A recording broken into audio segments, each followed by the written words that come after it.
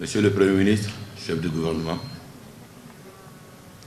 Mesdames et Messieurs les ministres, Messieurs les présidents des institutions ou représentants, Messieurs les représentants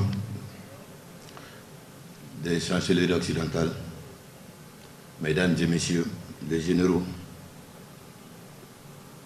officiers, sous-officiers, militaires du Mesdames et Messieurs, en vos rangs et qualités, chers tous, au nom de la famille, des enfants spécifiquement, je voudrais vous dire merci.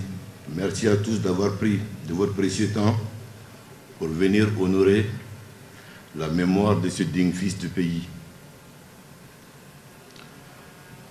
Merci également à l'armée pour cette très belle cérémonie. Ma prise de parole, ce sera pour dire, Raymond, merci. Je profiterai pour passer également un message et s'en suivra un témoignage.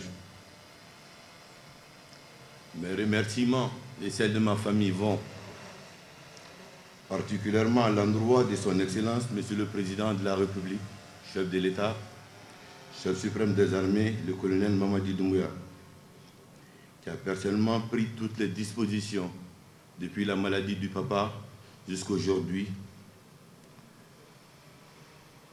On lui dit encore merci pour tout ce qu'il continuera à faire pour la famille. L'émotion est grande, il n'a pas pu supporter d'être là aujourd'hui, mais nous tenons à le remercier spécifiquement. Je veux aussi dire merci au nom de la famille, au Premier ministre, à tous les ministres, à tous les collègues, collaborateurs, amis et anonymes de mes frères et sœurs qui ont témoigné toute leur compassion à notre égard pendant cette épreuve. Papa, le mardi en prenant la route de Tunis, mes frères et moi avons rapidement dit au revoir en disant qu'on partait te rendre visite. Comme message, ta femme, notre mère, les sœurs qui sont restées, tes petits-enfants, les voisins, tes frères et sœurs, bref, tous qui ont été informés nous ont chargés de te saluer, de te dire qu'ils t'aimaient, qu'ils t'attendaient. Beaucoup de vœux de prompt rétablissement ont été formulés.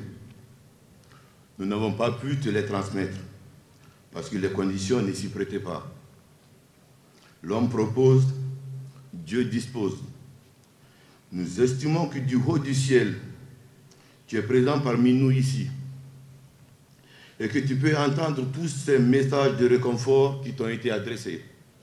Nous voulons rendre grâce à Dieu pour ces jours heureux que tu nous as donnés, parce que tu n'avais que la joie et le bonheur à partager.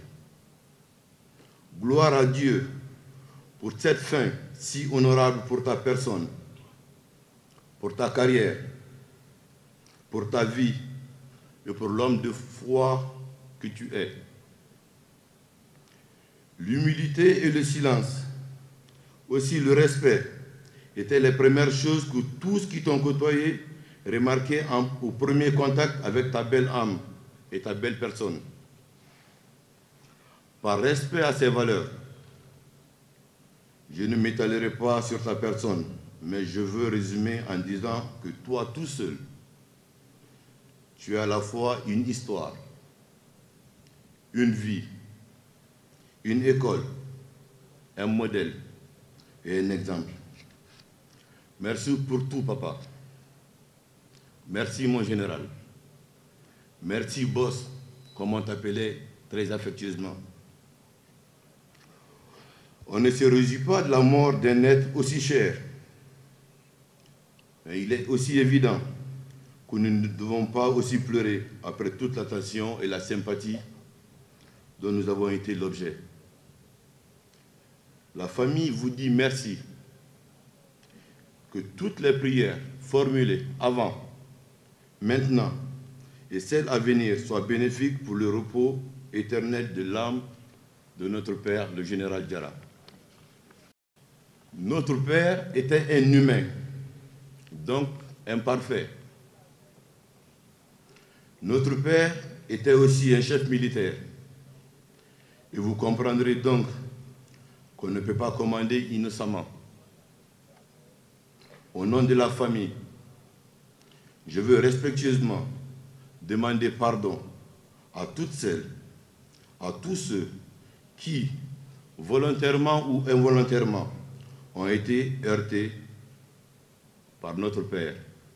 Nous vous demandons humblement de l'accompagner dans vos prières. Que Dieu accepte son âme au paradis. Amen. Je vous remercie.